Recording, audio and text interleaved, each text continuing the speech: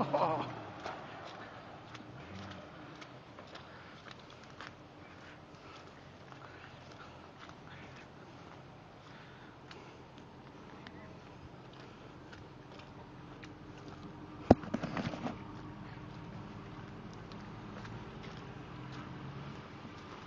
oh.